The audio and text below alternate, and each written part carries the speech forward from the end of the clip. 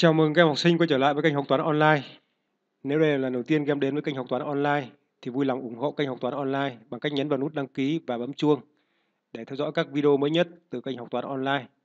Và các em đừng quên truy cập vào trang web học toán online 123.info theo đường link được đặt ở phần mô tả của video để nhận được các tài liệu mới nhất về ôn tập, ôn thi, toán nâng cao của môn toán lớp 4. Rồi bây giờ mời các em mở sách giáo khoa toán lớp 4 trang 176 Bài ôn tập về tìm hai số khi viết tổng hoặc hiệu và tỷ số của hai số đó. Đầu tiên mời em làm bài tập số 1, viết số thích hợp vào ô trống. Ở đây chúng ta có một bảng gồm các dòng tổng hai số, tỷ số của hai số, số bé bằng bao nhiêu và số lớn bằng bao nhiêu. Đầu tiên chúng ta có tổng của hai số bằng 91, tỷ số của hai số bằng 1 phần 6.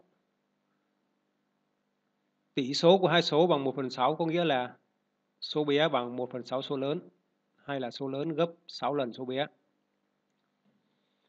Thì như vậy trong trường hợp này số bé bằng bao nhiêu, số lớn bằng bao nhiêu? Ở đây tỷ số của hai số là 1 phần 6.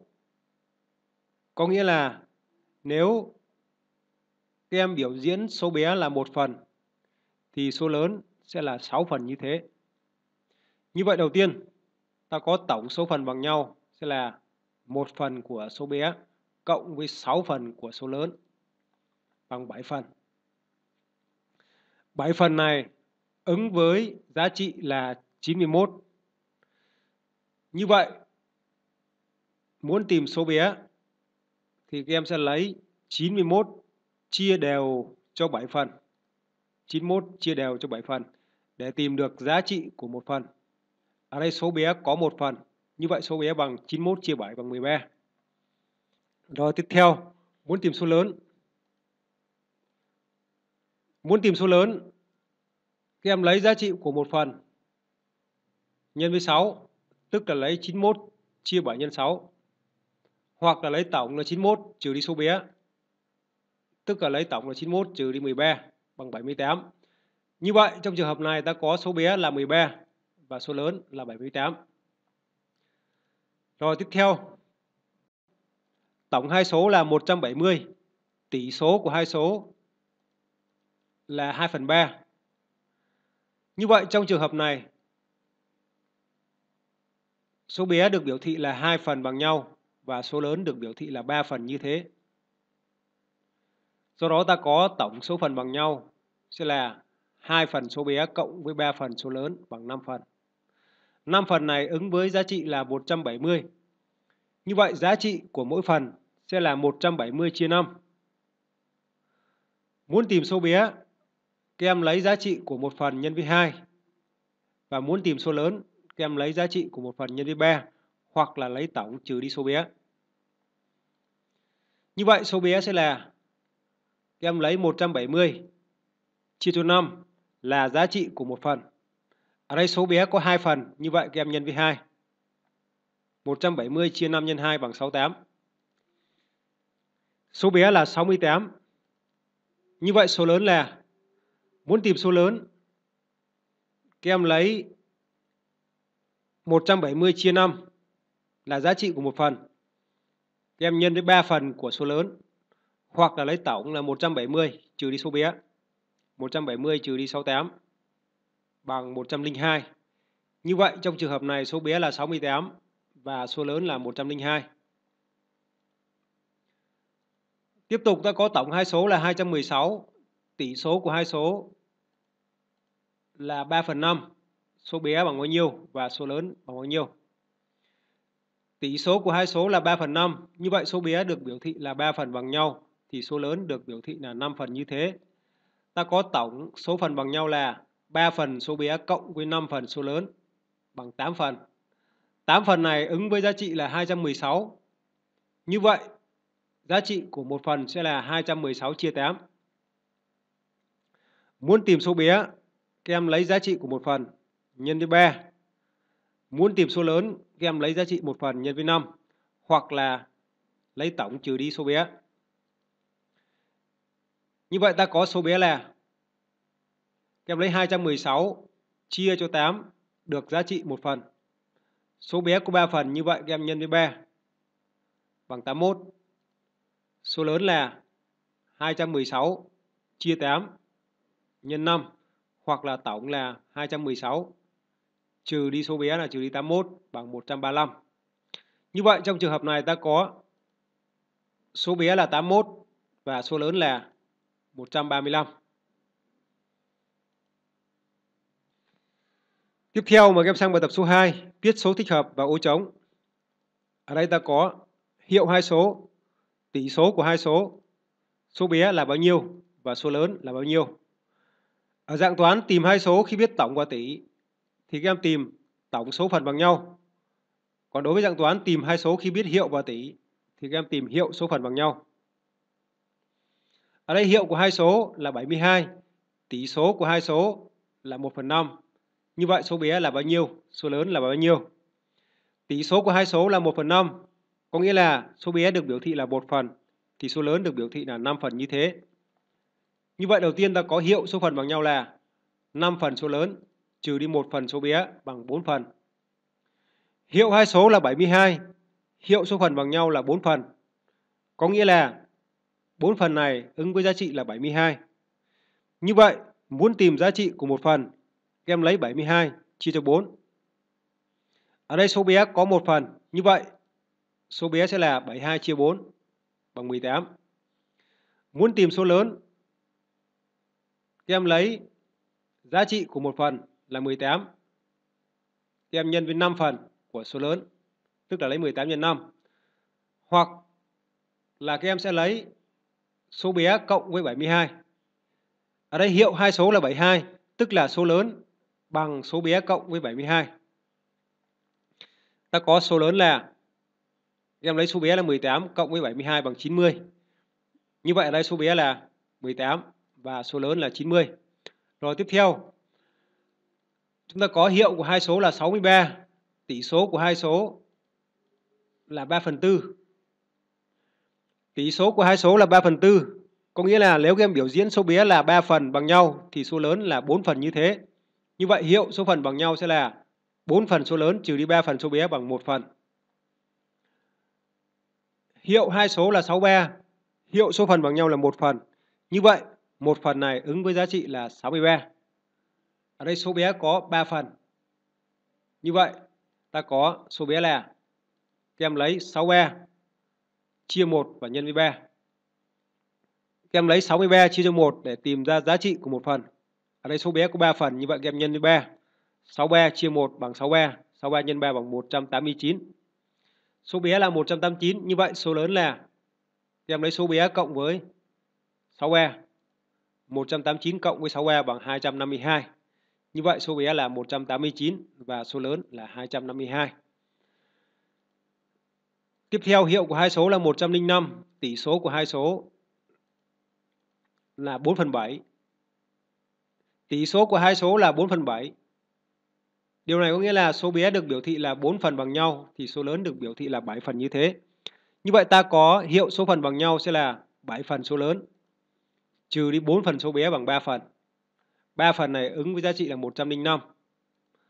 Như vậy số bé sẽ là 105 chia cho 3. Các em tìm được giá trị của một phần. Ở đây số bé có 4 phần, như vậy các em nhân với 4 bằng 140. Và số lớn là lấy số bé cộng với hiệu 140 cộng với 105 bằng 245. Như vậy ta có số bé là 140 và số lớn là 245.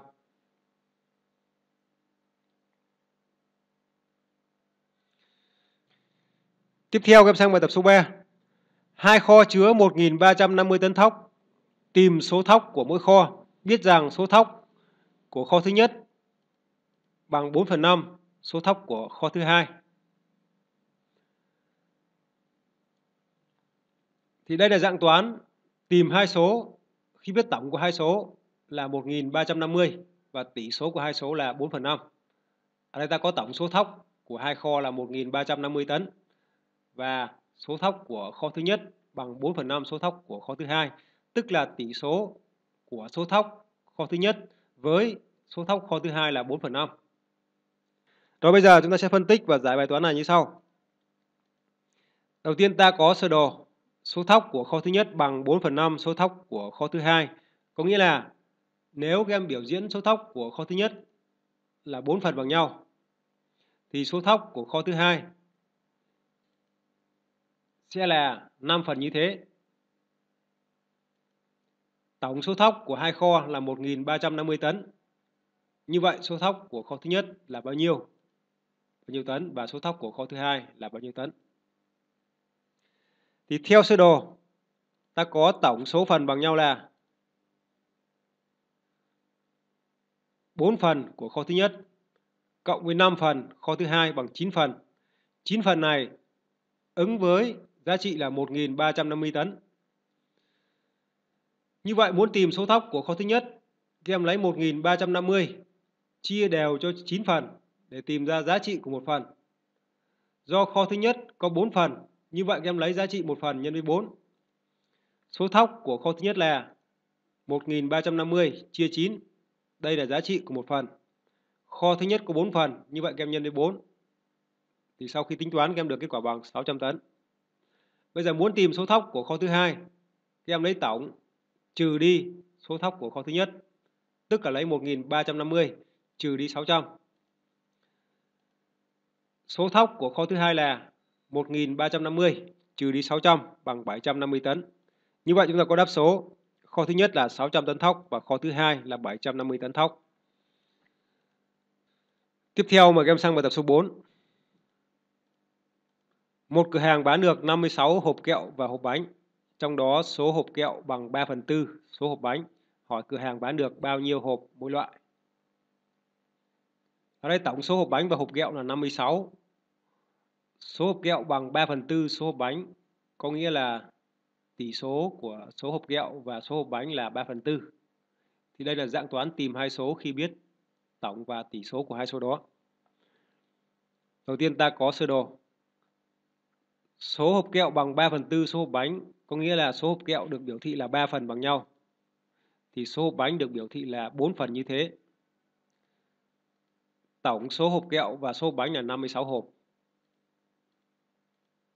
56 hộp. Như vậy là có bao nhiêu hộp kẹo và bao nhiêu hộp bánh. Thì đầu tiên chúng ta tìm tổng số phần bằng nhau là 3 phần hộp kẹo cộng với 4 phần hộp bánh bằng 7 phần. 7 phần này ứng với 56 hộp. Như vậy, giá trị của một phần sẽ ứng với 56 chia chia 7. Muốn tìm số hộp kẹo, các em lấy giá trị một phần nhân với 3. Và muốn tìm số hộp bánh, các em lấy giá trị một phần nhân với nhân với 4. Như vậy ta có theo sơ đồ tổng số phần bằng nhau là 3 phần hộp kẹo cộng với 4 phần hộp bánh bằng 7 phần. Và cửa hàng bán được số hộp kẹo là các em lấy 56 chia cho 7 thì tìm ra giá trị của một phần. Ở đây số hộp kẹo có 3 phần, như vậy các em nhân với 3. 56 chia 7 bằng 8, 8 nhân 3 bằng 24 hộp. Và cửa hàng bán được số hộp bánh là các em lấy tổng số hộp kẹo và hộp bánh là 56 trừ đi số hộp kẹo là 24 thì các em tìm được số hộp bánh là 32 hộp. Vậy ta có đáp số là 24 hộp kẹo và 32 hộp bánh. Tiếp theo mà các em sang bài tập số 5. Mẹ hơn con 27 tuổi, sau 3 năm nữa tuổi mẹ sẽ gấp 4 lần tuổi con. Tính tuổi của mỗi người hiện nay. Thì ở đây các em nhớ là sau 3 năm nữa tuổi mẹ gấp 4 lần tuổi con. Và hiện tại là mẹ hơn con 27 tuổi. Mẹ hơn con 27 tuổi thì sau 3 năm nữa thì mẹ vẫn hơn con 27 tuổi. Tức là ta có hiệu của hai số là 27. Tuổi mẹ gấp 4 lần tuổi con, tức là tỷ số của hai số là là 4 chia 1 hay là 4 phần 1. Thì như vậy chúng ta sẽ phân tích và giải bài toán là như sau. Ở đây do tuổi mẹ gấp 4 lần tuổi con, cho nên các em có thể hiểu là tuổi mẹ là số lớn và tuổi con là số bé. Hiệu của hai số là 27 và tỷ số của hai số là 4 phần 1 hay là 4 chia 1. Thì đầu tiên các em tính tuổi của con và tuổi của mẹ sau 3 năm nữa. Sau đó các em mới tính tuổi của con và tuổi của mẹ hiện nay. Bởi vì người ta cho biết là sau 3 năm nữa tuổi mẹ gấp 4 lần tuổi con. Tức là tỷ số của tuổi mẹ và tuổi con là 4 phần 1. Nhưng tỷ số này ứng với là 3 năm nữa. Như vậy, sau 3 năm nữa, mẹ vẫn hơn con 27 tuổi và ta có sơ đồ. Sau 3 năm nữa, tuổi mẹ gấp 4 lần tuổi con. Cho nên nếu các em biểu diễn tuổi con là một phần và tuổi mẹ sẽ ứng với bốn phần như thế, và tuổi mẹ hơn tuổi con là 27 tuổi. Tuổi con bằng bao nhiêu và tuổi mẹ bằng bao nhiêu. Các em nhớ sơ đồ này là sơ đồ ứng với tuổi mẹ và tuổi con sau 3 năm nữa. Theo sơ đồ thì ta có hiệu số phần bằng nhau là em lấy 4 phần tuổi mẹ trừ đi 1 phần tuổi con bằng 3 phần.